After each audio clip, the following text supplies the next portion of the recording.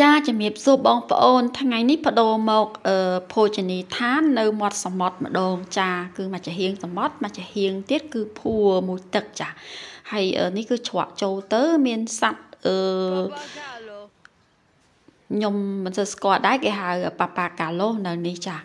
មួយចាវាវាសលូតាគេគ្រប់គ្នាចៅគ្រប់គ្នាគេហៅសួស្ដីណាតែជាមួយនាងខ្ញុំគេអត់សួស្ដីទេគេគេធ្វើតែដៃធ្វើតែជើងចា ហើយអានេះខ្ញុំក៏ប្រវាយកាមេរ៉ាទៅថតអឺនៅមុខហាងតិចដល់ពេលចូលទៅក្នុងហាងគឺនេះខ្ញុំអត់បានថតទេដោយសារតែអឺមិនចង់រំខានអ្នកដែលគេនៅខាងក្នុងណាតទៅដល់តុកបាននាងខ្ញុំថតចានេះគឺនៅខាងក្រៅចាយើងចង់ញ៉ាំខាងក្រៅក៏បានប៉ុន្តែ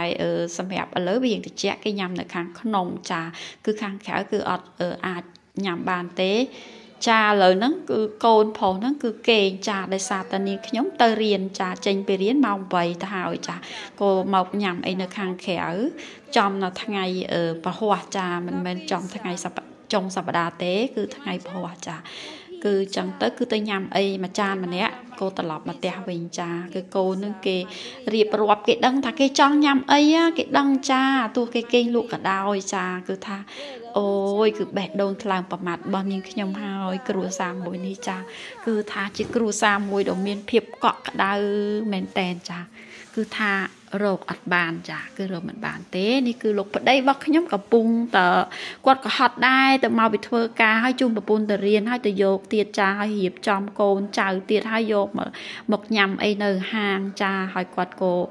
កំពុងតែមើលមីនុយថាត្រូវកំងអីនេះខ្ញុំក៏ប្របែកកាមេរ៉ាបន្តិចឥឡូវហ្នឹងគឺអត់ទាន់មានភ្ញៀវចូលទេចា គឺទៅនៅស្រុកនេះអឺខុសពីថ្ងៃចុងសប្តាហ៍គឺស្ងាត់ចាតែតិចទៀតមានភ្ញៀវមកប្រហែលជា10នាក់ទៀតចា អញ្ចឹងមានភ្ញៀវចូលល្មមគូសំតែហាងគេអាចបើកបានរាល់សប្តាហ៍ដែរ ចានៅទីនេះគឺមានភីសាគ្រប់មុខចាភីសានោះគឺច្រើនមុខចាហាងគេប្រចាំហ្នឹងគឺភីសាតែនាងខ្ញុំចូលចិត្តញ៉ាំ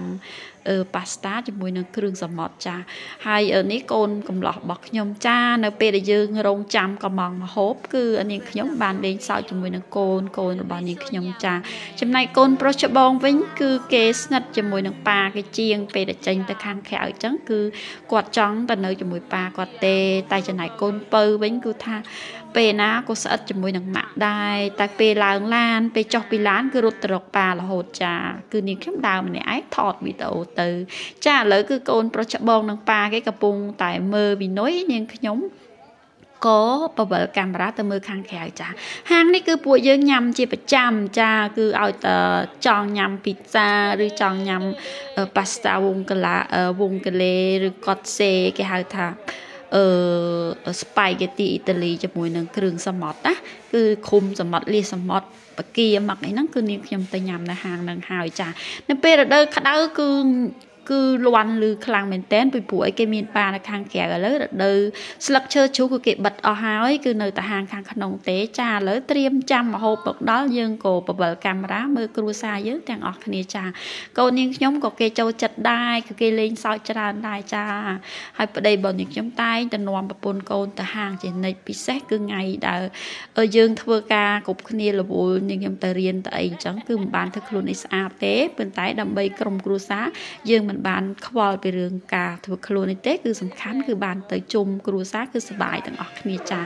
បន្ទាប់មកថ្ងៃសៅរ៍អាទិត្យកូននាងខ្ញុំនិងក្រុមគ្រួសារបានចេញទៅក្រៅដែរគឺចេញទៅហាងក្មេងៗម្ដងចានាំពួកគាត់ទៅលេងសួនក្មេងលេងនាំពួកគាត់ទៅញ៉ាំអីនៅមេកដូណាតនៅហាងដែលក្មេងៗចូលចិត្តគេមានកាដូគេចែកឲ្យ ប្រេសាអីចឹង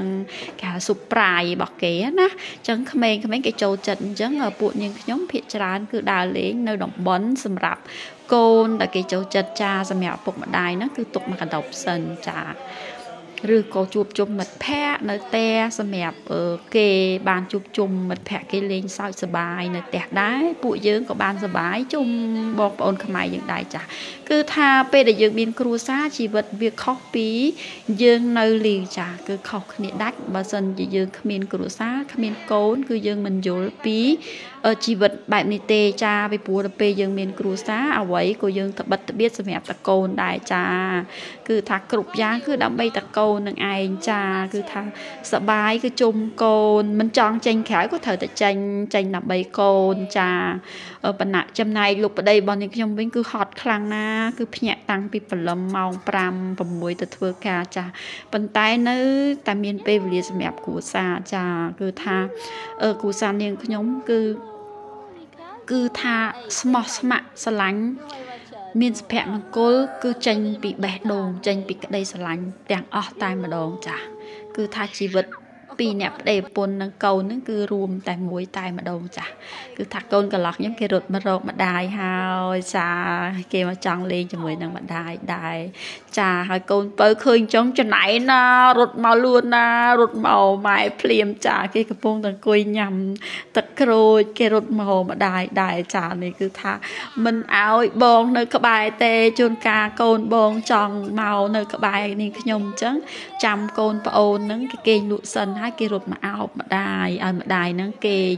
អោបគេម៉ាសាខ្នងឬក៏បើអាប្អូនមិនតាន់គេងហ្នឹងគឺទៅរកប៉ាចាឥឡូវហាមកដល់ហើយយើងក៏បានពិភាក្សាលេងសើចមួយកូនមួយប្តីចាមិនមែនមាននៅក្នុងវីដេអូអាអត់ថតហ្នឹងច្រើនចាពួកយើងបាទជែកនេះច្រើនចានេះកូនប្រុសច្បងគេចូលចិត្តញ៉ាំមឹកបំពងហើយផ្គាបំពងហើយចំណែកនេះខ្ញុំចូលចិត្តញ៉ាំអឺប៉ាស្តាជាមួយនឹងគ្រឿងសមុទ្រចា ហើយចំណែកលោកប្តីរបស់នាងខ្ញុំគឺគាត់ចូលចិត្តញ៉ាំពិសាពិសាគ្រឿងសមុទ្រពិសាអ្វីច្រើនណា គឺច្រើនប្រភេទមែនតើនេះគេហៅពិសាម៉ាការីតាម៉ាការីតាហ្នឹងគឺឈ្មោះព្រះនាងម្ចាស់នៅប្រទេសនៅប្រទេសអ៊ីតាលីនៅខាងអឺអឺណាប៉ាលីណាណាពូលីចាប្រវត្តិនៃភីសានេះគឺព្រះនាងម្ចាស់ហ្នឹងគឺគាត់មិនចង់ញ៉ាំអីទាំងអស់ តទៅដល់អ្នកចុងភៅរកឃើញមុខម្ហូបហ្នឹងគឺគាត់បានញ៉ាំចាអញ្ចឹងទៅគេឈ្មោះអឺរបស់ព្រះម្ចាស់ស្ត្រីហ្នឹងគេហៅថាម៉ាការីតាចាហើយនេះគឺប៉ាស្តាគ្រឿងសមុទ្រធម្មតានេះខ្ញុំញ៉ាំហើយញ៉ាំហើយញ៉ាំហើយញ៉ាំហើយចាហៅបងប្អូនណាចេញពីសាលាម៉ោង7 8ចាអឺគឺថាងំដល់ហាងហើយរត់ទៅរៀនទៅសូត្រហើយចេញមកអូយតា តាហែលគួយចាំផងលេងសើចពងឥឡូវហ្នឹងបានអាហារដែលនាងខ្ញុំចូលចិត្តចាគឺអាហារនាងខ្ញុំចូលចិត្តលេខ1ចាទៅថ្ងៃណាគូញ៉ាំដែរអត់បដូររសជាតិទេ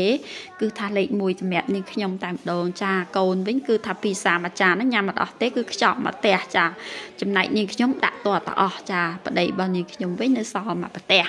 ចាចំណែកអាផ្សេងផ្សេងទៀតគឺអស់ចាឥឡូវគឺបានដល់ទីបញ្ចប់ហើយយើងយើងមកចេញទៅផ្ទះវិញហើយចានាងខ្ញុំណាក៏សូមអរគុណសូមបងប្អូនជួយគ្រប់គ្រង like page subscribe ចាហើយយើងទៅបន្តមកកន្លែងមួយទៀតចា គឺថានាំកូន ទៅញ៉ាំការ៉េម្ដង ចាប៉ាគេចាំនៅឡានដោយសារតើអត់មានកន្លែងចតឡានកន្លែងចតឡាននៅឆ្ងាយចាអញ្ចឹងទៅគឺគាត់នៅចាំនៅឡាននាងខ្ញុំនាំកូនទៅទិញការ៉េចាចំណែកកូនប្រុសទាំងពីររបស់នាងខ្ញុំគឺគេចេះញ៉ាំចេះទិញហើយពិសេសកូនប្រុសច្បង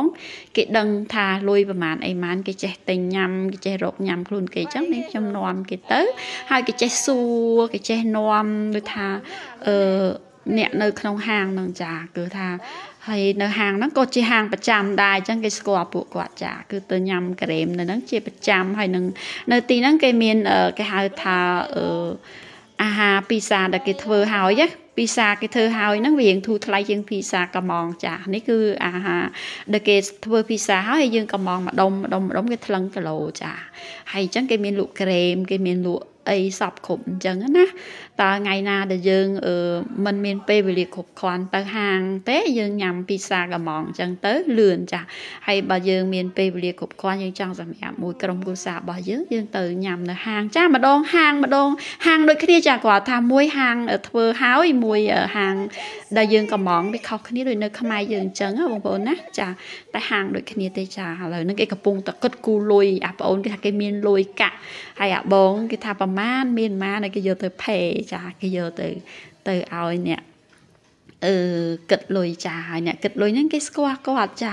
ហើយដល់ពេលគិតលុយហើយគេអពេកគេរត់មកវិញអត់អត់ចាំយកលុយអាប់ទេ